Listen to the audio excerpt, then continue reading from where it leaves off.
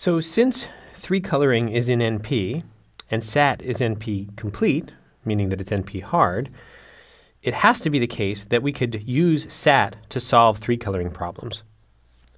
But it's actually a little bit interesting to see how you might do that. So let's, let's take a look. Here's a simple little graph.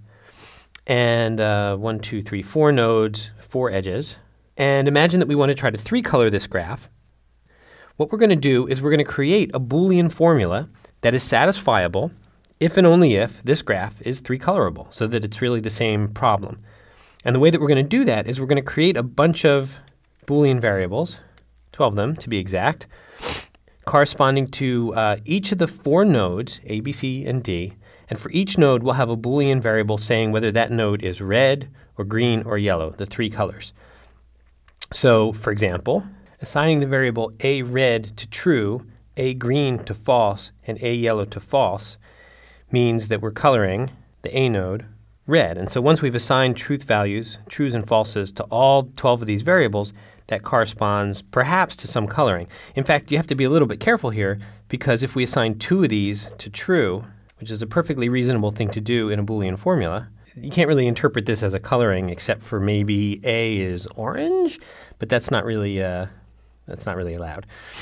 So, um, so what we have to do now is, given these 12 variables, we have to create a formula that is true if and only if it corresponds to a valid coloring, meaning that both exactly one of each of these triples of variables are true and there's no collisions. For example, we can't have A colored red and B colored red because they're connected by an edge. They all have to be uh, different if they're connected by an edge. So uh, the formula for this can be generated automatically and I'll give you a glimpse at it. So, so here it is, uh, at least one version of it. And it's a little bit weird and complicated, but it actually falls into some nice structure. So first, there's a bunch of bunch of logic to say that it should be the case that say the, the A red, A green, and A yellow variables, one of them should be true. If they were all false, then that's it's not telling us what color A should be. And it also has to be the case that no pair of colors can be true for a given node. So it can't be the case that both A red is true and A green is true. So that's bad.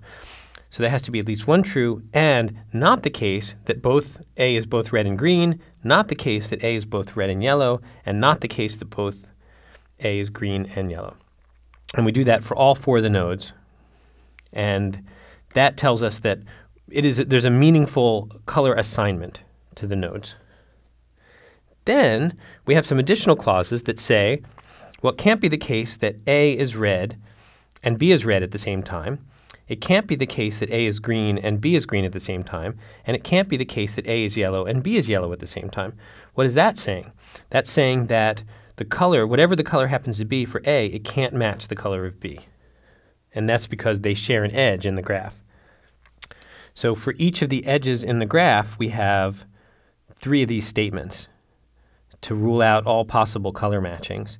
So there's three of these for one edge, two edge, three edges. There's four edges in the graph, so we have four blocks of these. And this formula now, as a whole, has a satisfying assignment, has an assignment that makes this whole expression true if and only if there's a coloring, a three coloring of that graph.